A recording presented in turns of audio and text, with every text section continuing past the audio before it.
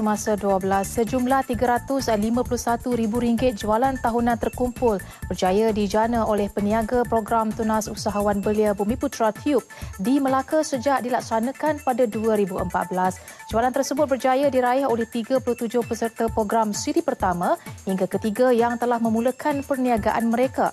Pengarah Perbadanan Perusahaan Kecil dan Sederhana SME Corp Melaka, Nur Hidayati Muhammad Nur berkata, 75 peluang pekerjaan telah berjaya diwujudkan di Melaka menerusi perniagaan peserta tiup. Statistik berkenaan akan terus meningkat tahun ini berikutan pertambahan jumlah belia Melaka yang mendaftar untuk program tersebut.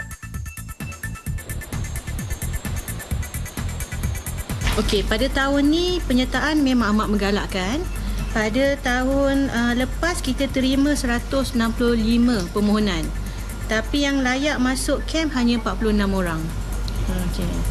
Uh, kita nampaklah daripada mula Tube diperkenalkan pada 2014 hanya tujuh orang anak Melaka saja masuk Camp Melaka yang selebihnya adalah daripada negeri lain. Uh, 2015 14 orang anak Melaka. Uh, 2016 16 2017 46 dan tahun ini kita expect 140 atau 150 uh, anak-anak Melaka akan masuk ke dalam camp. Beliau ditemui pada program Tiup 5.0 Negeri Melaka di Air Keroh. Seramai 205 peserta di negeri itu hadir bagi sesi temu duga daripada keseluruhan 9,000 peserta di seluruh negara. Bagaimanapun, hanya 155 orang calon akan terpilih menjalani kursus berkaitan perniagaan di Kem Evamosa Alugajah yang akan bermula Mac nanti.